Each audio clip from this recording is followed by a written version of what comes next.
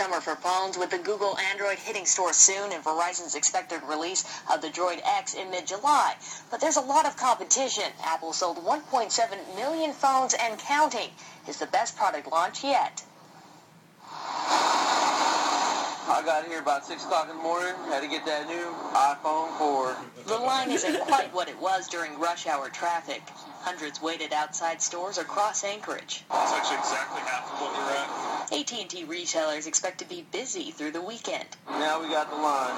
Sleepy-eyed customers waited hours to get a sharper screen, thinner body, and a camera that allows video chatting. It's got my music, my photos, my videos, my life. This is Raul got the Cruz A4 didn't even do. in it, and it got a 5 megapixel camera. It's got HD recording and video editing. It's a new app to the App Store. So it's great all the way around. It's a better phone. So, you know, I want to get the best.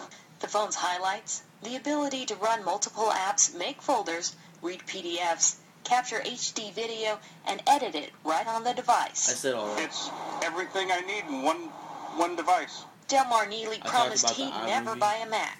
But then came the iPhone, 3G, 3GS, and now iPhone 4. That's so much nicer than the old phone.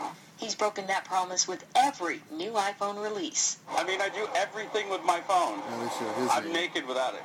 A scary thought, because without it, he wouldn't know where to go or how to get there. I do everything with it. I found the best pizza place in Chicago, the best donuts in Seattle, the best barbecue in St. Louis. He's never had problems with his other iPhones, but some customers complain about more dropped calls due to an antenna problem. Others complain of discoloration on the screen. But despite that, several stores sold out. Is it any better? It's a lot better. It's got the same processor as the iPad, so it runs applications a lot faster. It's got the Retina display, so it's about four times the resolution. Meanwhile, the competition is paying attention.